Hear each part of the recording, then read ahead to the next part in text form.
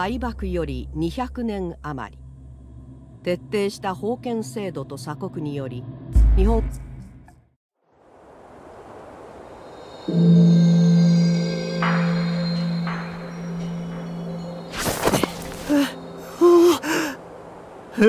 寒い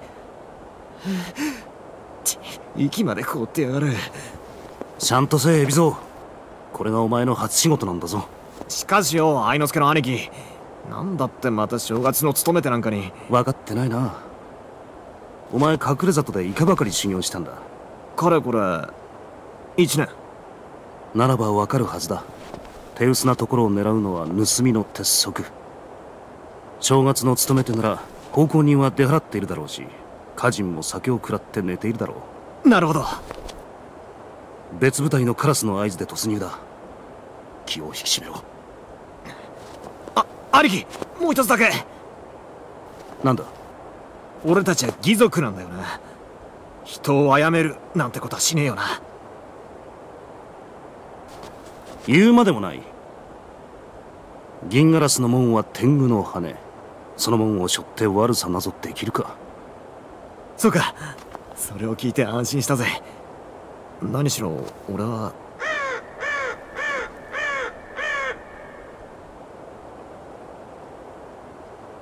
よし俺たちも行くぞ。合点だ。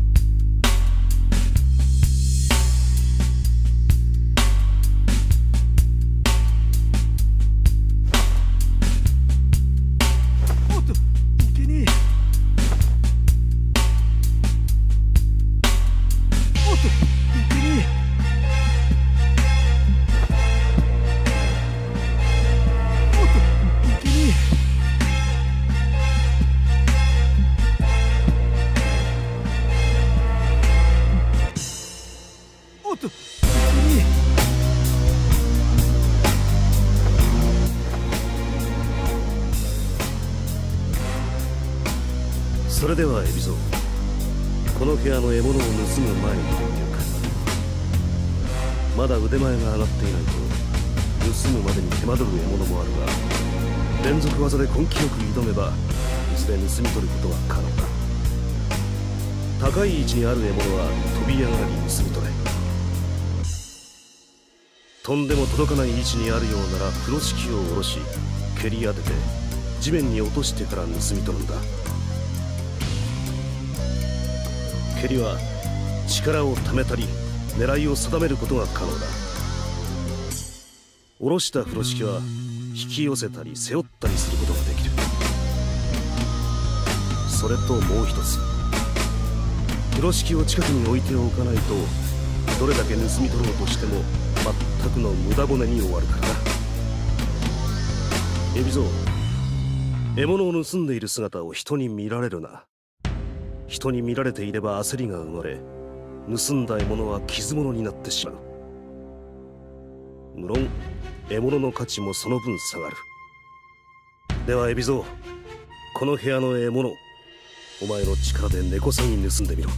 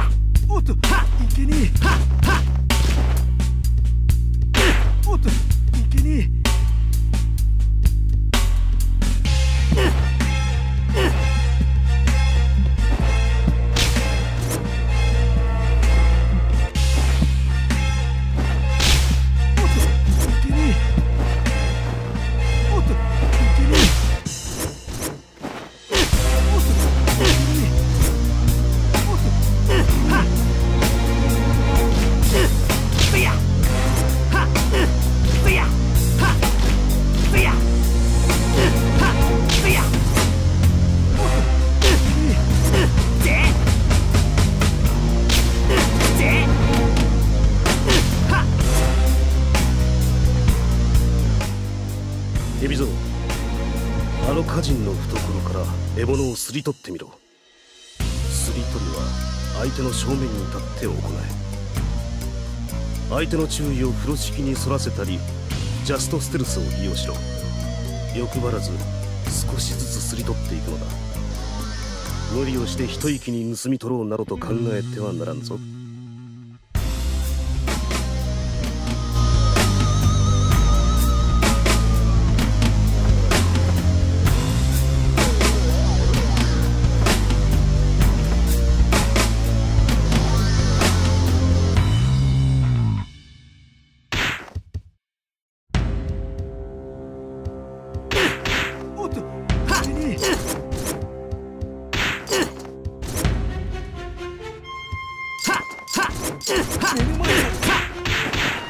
真っ暗でおっといけね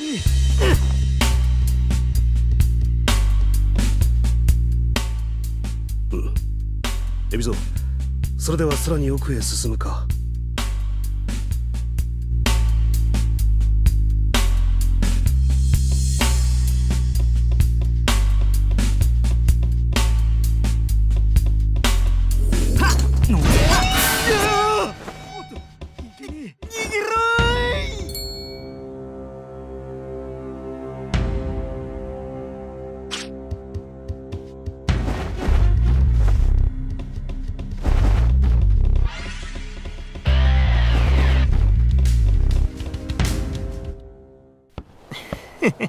初仕事にしちゃ我ながら上々の守備だぜ。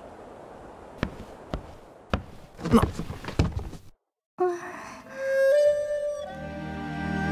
ちゃん？この矢の子か。エビゾこの子を歌人たちを縛ってやる根屋に運べ。ああ兄貴